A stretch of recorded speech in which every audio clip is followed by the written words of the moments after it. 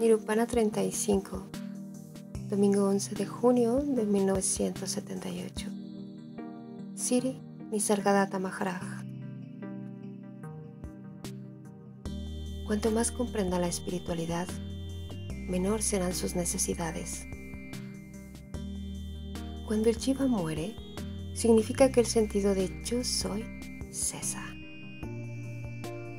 Para comprender esto, uno debe estabilizarse en su interior. Cualquier cosa por la que se tome a usted mismo acaba. La yosoidad que usted da por sentada no va a durar. La vigilia viene del sueño profundo junto con la sensación yo soy.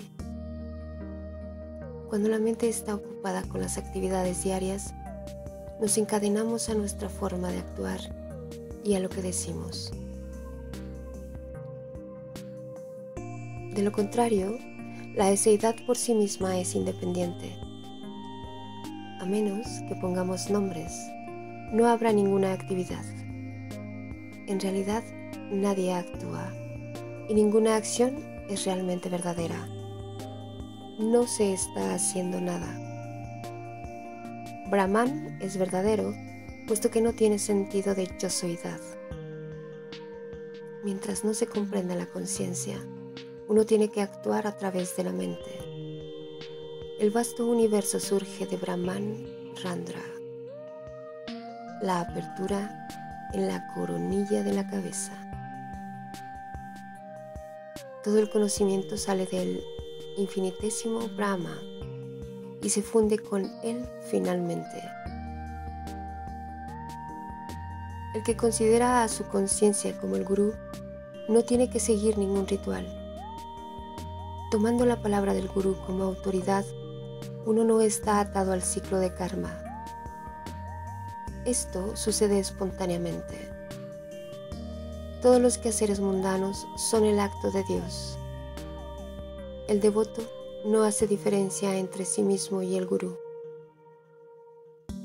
Tómese a usted mismo por la conciencia pura y compórtese de forma acorde. Un simple devoto se vuelve ilimitado aferrándose a la palabra del gurú.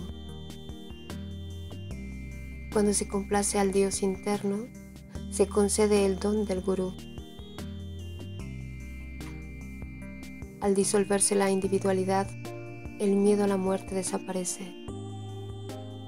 Cualquier identidad que asuma será transitoria. La identidad dada por el gurú permanece por siempre. Darse cuenta de la conciencia mientras se está en el cuerpo humano no tiene precio. No hay nadie tan generoso como aquel que ofrece el autoconocimiento si lo realiza, no hay diferencias entre usted y el gurú. Usted deviene inmortal. Incluso sin morir, usted tiene miedo a la muerte. Nunca habrá una experiencia de muerte como tal. Aún así, el miedo a la muerte existe. Usted sabe que ha despertado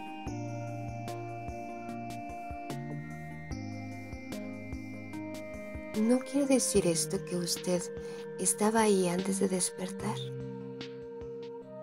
Este recuerdo solo puede ser si uno existe antes de eso. Los cinco elementos son las características del saber. Yo soy. Ellos nunca serán capaces de ver a aquel que es anterior a saber. Usted puede creer en Dios, etcétera sin embargo, usted no tiene una existencia continuada. Usted se considera a sí mismo como su conocimiento. Yo soy. Hay miles de recuerdos. ¿Somos nosotros esos recuerdos? Toda acción es el resultado del recuerdo. Pero nosotros no somos los recuerdos. La naturaleza del recuerdo es el olvido. Incluso el saber que yo soy Dios tiene un final.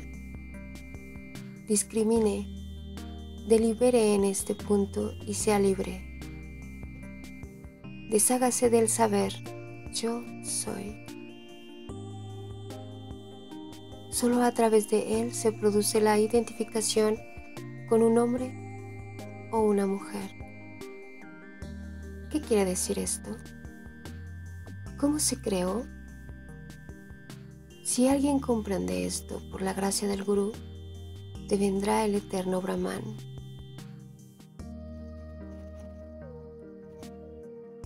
¿Pertenecen sus palabras a un humano mortal o a un Dios inmortal? Si usted comprende solamente una proposición de esta charla como suya propia, deviene inmortal. Meditemos en silencio.